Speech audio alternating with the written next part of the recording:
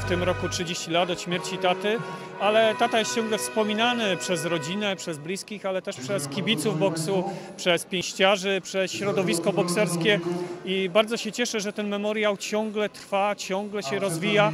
W tym roku mamy dużo ekip zagranicznych. Przyjechali pięściarze z Ukrainy, dwie ekipy ukraińskie z Niecieszyna i Drohobycza.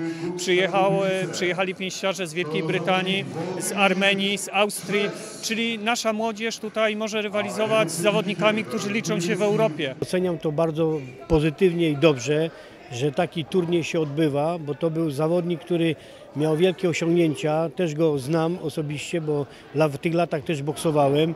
I powiem tak naprawdę to jest, y, to jest coś wspaniałego, że, że tylko powiem, więcej powinno przyjeżdżać tutaj zawodników ze Śląska, bo jakby nie było, no jest to jakieś poszanowanie honor, znaczy honor, oddać w ogóle ten, ten, ten szacunek dla Leszka Barzyńskiego, bo pamiętam jego walki, to był super zawodnik, wyszkolony bardzo dobrze. Uważam, że jest to coś fantastycznego.